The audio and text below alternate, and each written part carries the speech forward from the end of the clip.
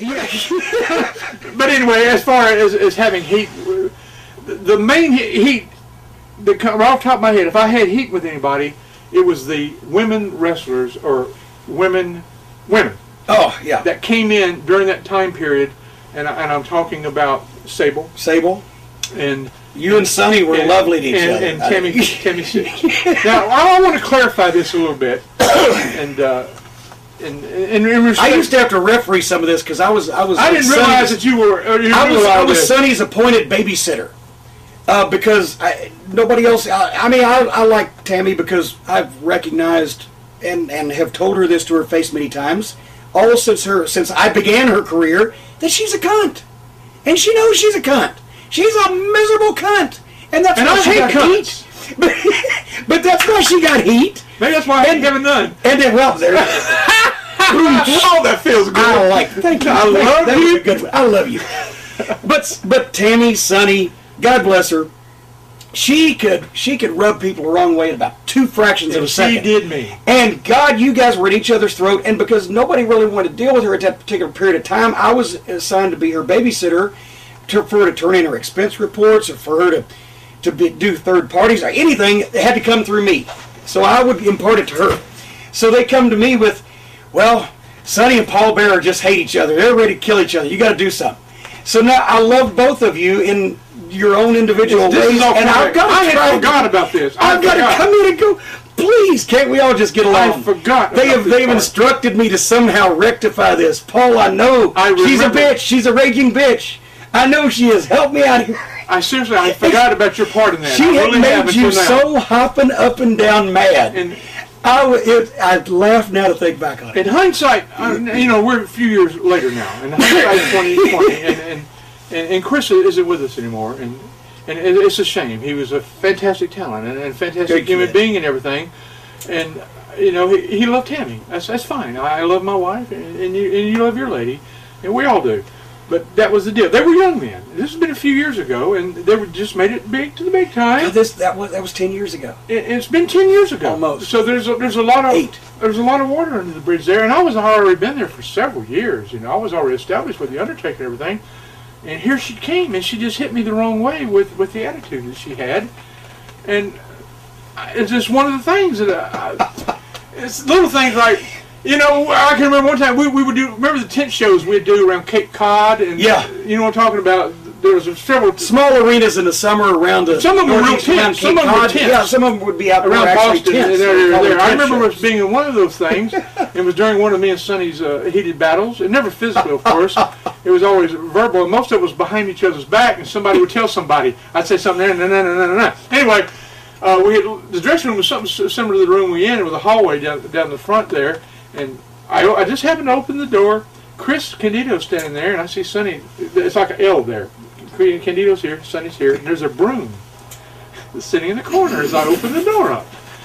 And I don't know where it came from. Just like a lot of things that we said. I don't know where the hate for Kevin Dunn came from. But it's in the heart. I I just, uh, and the knights in the back. Oh, there's not still any knights in my back. Oh, wait, now let me pull it out. Does it say KD or Jerry Lawler? oh, no. It could be Jerry Lawler. That's the Tennessee handshake, right? Pull it out. No. But anyway, I opened that damn door. I a saw, broom. I saw Chris. I saw I saw Tammy sitting there, and and, and and I grabbed the broom and I went, Chris. When you go home, here's your wife's, uh, here's your girl's uh, transportation, and I tossed him the broom.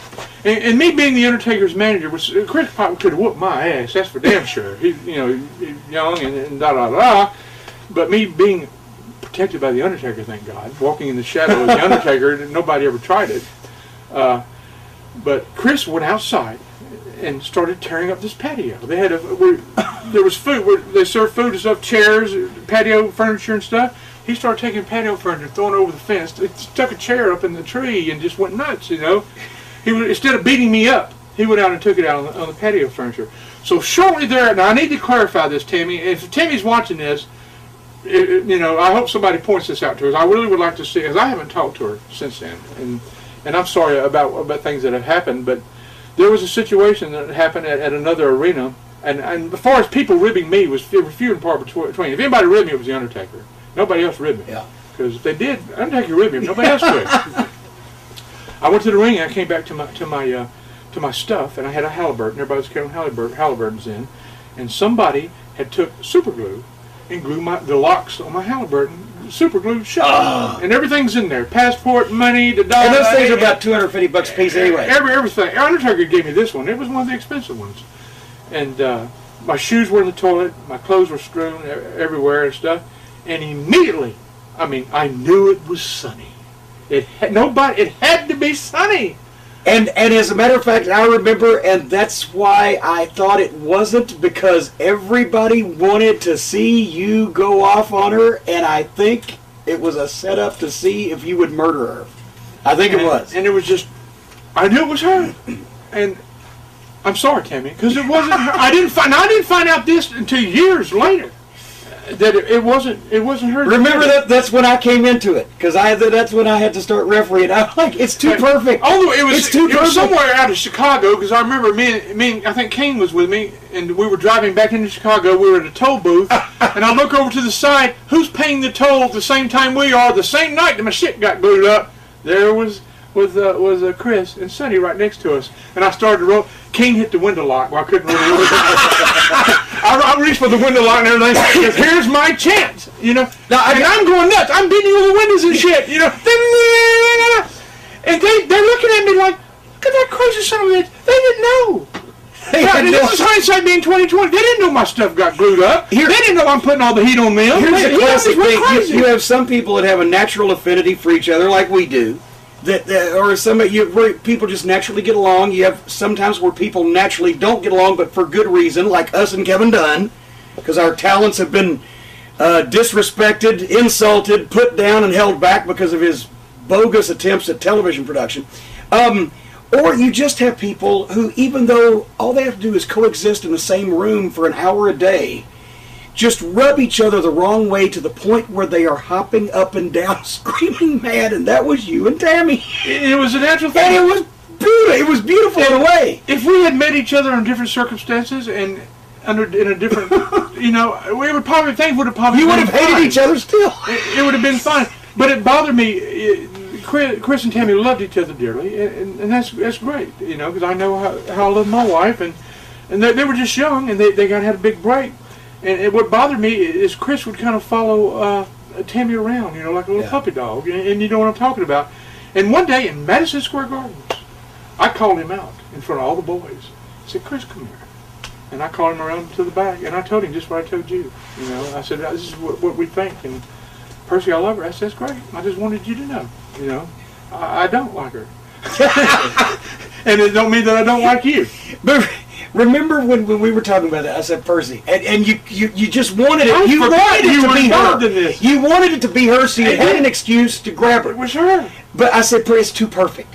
It's too perfect. It can't be. They want you to kill her because everybody was mad at her too." But several years later, you know, I hated them forever for, the, for that. But several years later, I found out it wasn't them. It was Billy Gunn, Billy and Bart Gunn, the Smoking Gunns, and they and they done it because they thought I had done something to their stuff. Oh, I thought it was. I, No. I always thought it was somebody trying to set you up for that. No, that could have. I found out because Billy had told me later uh, down the road. Well, now who was it that did the to their? I don't know. I, I, I don't know. But they thought that I'd done something to their stuff, which certainly not an angel. You don't see a halo around the It head. I've done my share of ribs through, through the years, but I was always the silent ribber type where I would do something and run and sit down and watch what happened, you know? Yeah. And, and just whatever, whatever. Set it up and then and then see the but seriously, science project you know, in action. I, I swear, after all these years, and I'm man enough to say it now, that you know, I'm sorry, Tammy, and, and I am. I, I, I did, I, you know, it was one of those things, wrong time, wrong place. And in fact, Tammy has publicly stated many, many times, and I have too, where she hates me, and I hate her. I really don't hate you. I did it one time, but I don't anymore. You know, I don't hate nobody anymore. I'm getting too old for this, this shit, this, this hating stuff, and but, but I don't. So that's all water under the bridge there. But And and meanwhile, I'm sitting over here trying to figure out how to because I I like you and I like her and and and. And as a matter of fact, there's so few people that I really do like. Now that you come to think of it, I. I couldn't believe two of them were actually arguing with each other. So I'm trying to. But now, Percy, can't you just no? Uh, Tammy, I- can't you just no? The heat between us was so hot that I forgot about you being the mediator there. It has totally escaped my mind until this very moment. I, I, I don't. I remember it now, but I forgot those conversations that we oh, had about Tammy. So that's all. Like I said, you know, I I, I done my share. Of It was like the Arabs and the Israelis. It was. It, it, it was really bad. I hated her.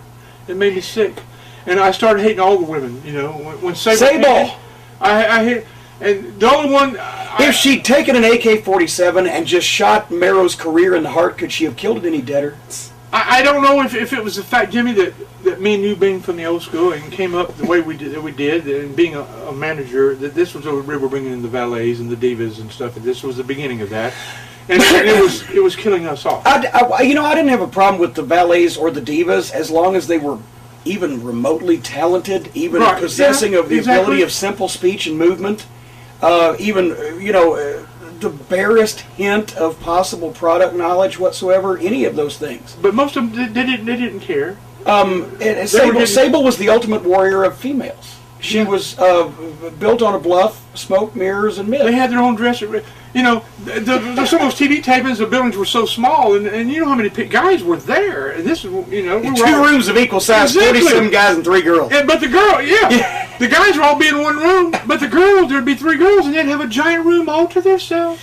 And if they needed something, oh, I need tampons. Oh, that's, that's obvious. You need tampons. I figure you, you need them every day, as far as I'm concerned. And while you get, when you get a box of tampons, send some out to the production truck to. Kevin Dunn. no, no. Ah.